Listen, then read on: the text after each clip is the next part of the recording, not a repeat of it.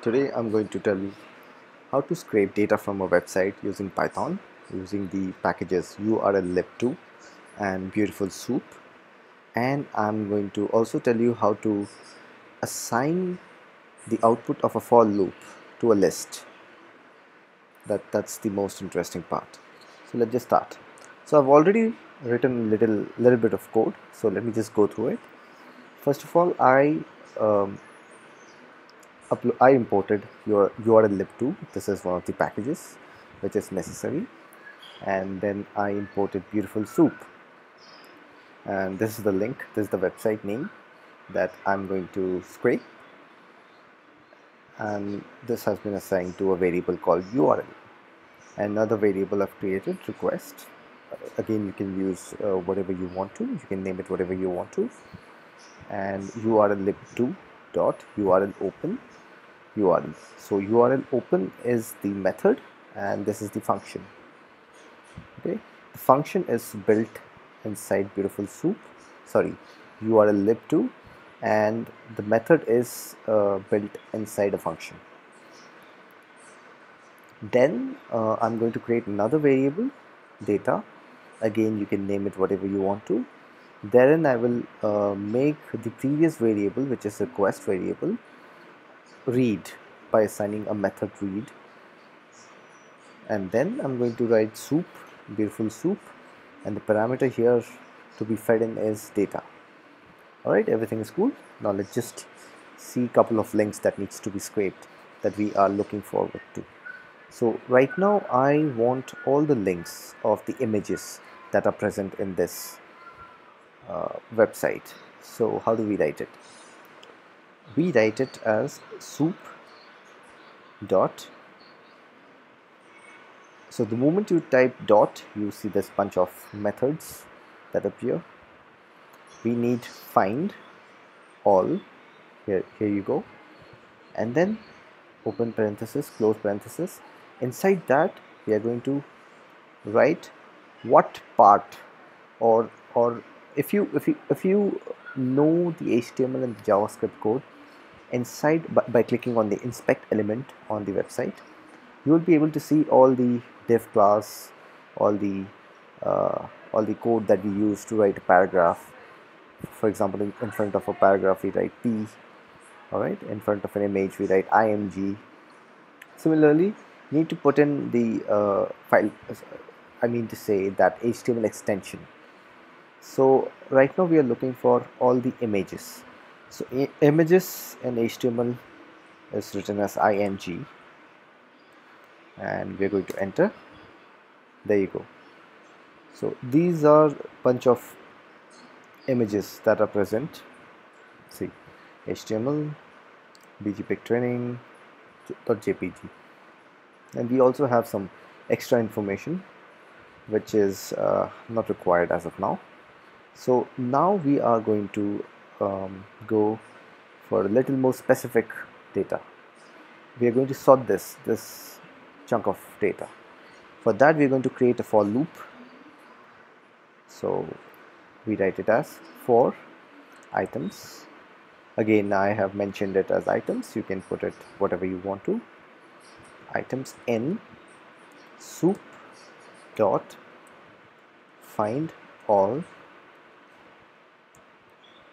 img img is the extension that we used. And we are going to print items dot and the method that are, that we are going to use is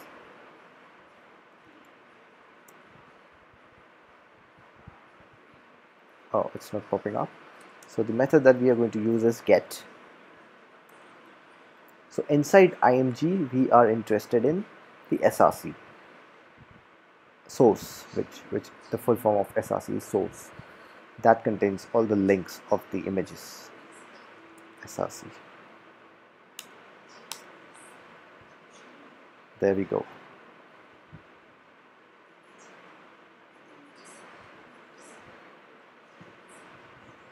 Cool. So we have all the links of the images. If you want you can just copy one of the links and you can try it out in your browser and see that particular image. So now we have the output for the for loop. Now how do we assign this to a list so that we can use it for the next function? Or we can we can use it for some other method. How do we use that? So first first we are going to assign soup.find all and img this this port, this portion over here. We're going to assign this a variable. So let us create a variable a. It can be again anything. You can you can name yourself. You can name whatever you want to. So I'm creating it as a. It's much easier.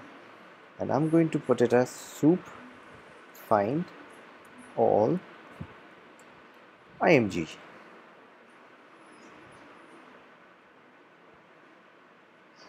oh I'm really sorry I'm really sorry. We don't need to assign a variable to it. Let's just let's just go with it yeah. So um, yeah. Before uh, we assign this entire links that we just got to assign this to a list we need to create an empty list. So let's uh, assign that list to let's assign an empty variable empty empty list to a variable which is urls again you can name it whatever you want to. So I'm naming this as URLs and I'm going to create an empty list. Just two just a square bracket. Open and close. That's it. Enter. And now we are going to write the same for loop again. For items in soup dot find all img now we are not going to en press enter. We're going to write comma. And we're going to mention the src which we wrote it in the previous code. Src is equal to true. So what it does is it's telling it's telling the for loop here that the src within the image extension is true. It is available. We are telling the loop that it's available. Okay? Now we're going to say now we are going to write urls because that is the empty list. Dot append.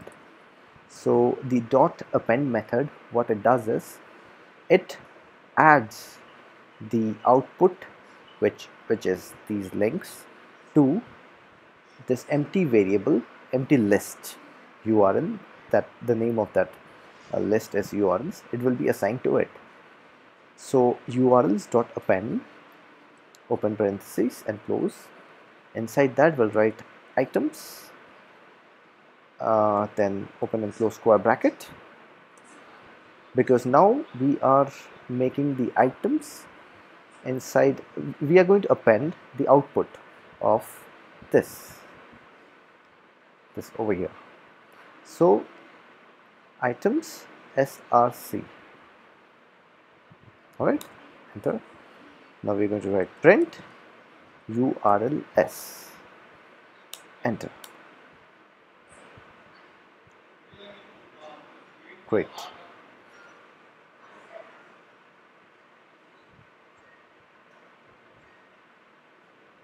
Amazing so if you can see all the links are now inside this square bracket. So anything inside a square bracket in Python is a list. You want to recheck it again? So let's just type urls enter. There you go. So everything is being fed into this list. Now we can use this variable urls to any any function further and you can use it what for, for whatever that you may think about. Thank you for watching this video and keep watching more